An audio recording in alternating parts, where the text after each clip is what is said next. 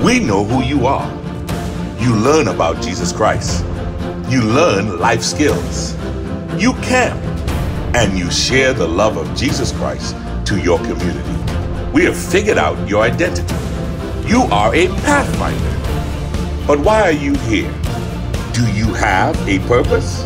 The General Conference Adventist Youth Ministries will celebrate World Pathfinder Day on September 21, 2019. Millions of Pathfinders around the world are empowered to make an impact as they celebrate.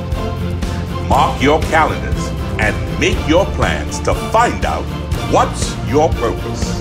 The global community of Pathfinders around the world will celebrate simultaneously serving in their local church by leading out for all Sabbath services, as well as serving as the hands and the feet of Jesus Christ through community outreach in their local communities.